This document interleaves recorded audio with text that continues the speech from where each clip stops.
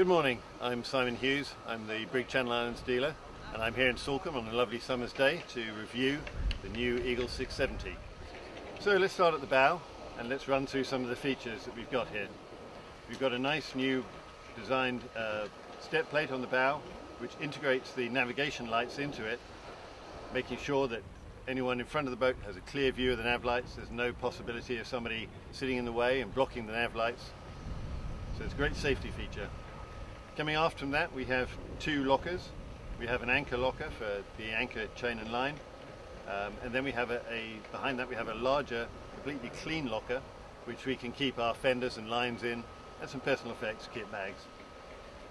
After that we go into the forward cockpit area which has the facility to uh, position a sun deck over the top of it to give you a, a, fully upholstered length from the front of the console all the way to the bow.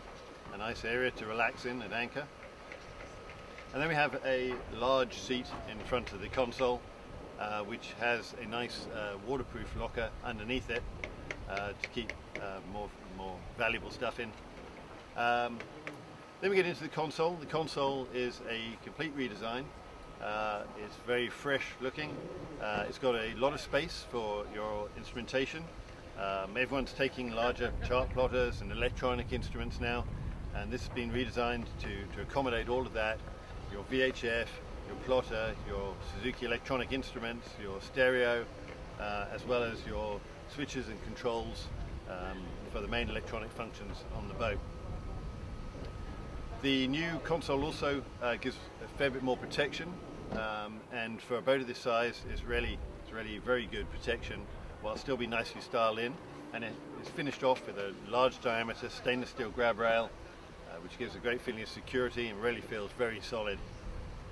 Coming off from that you have the helm seat which is grown a little bit wider.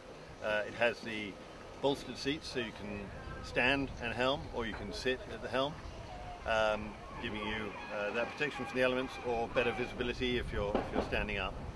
Um, and again, it's all finished off with some nice new styled stainless steel handrails. Going aft from the helm seat, you have um, the familiar uh, recessed bench seat across the back of the boat. Um, that recess gives a great feeling of security and safety. If you've got children on board, you feel really happy putting the kids in there um, they're really safe and you know they've got plenty to hold on to um, and they're not going to get thrown out of the boat. It also accommodates a large uh, locker which has a, a, a, very large opening so you can put quite big quite big objects in there underneath the locker. Uh, this particular boat is fitted with the with the bimini which uh, wraps around the back of the seating and Im improves the seating height and security again.